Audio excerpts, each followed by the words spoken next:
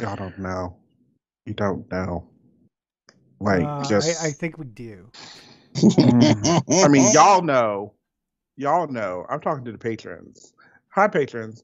Um, like, just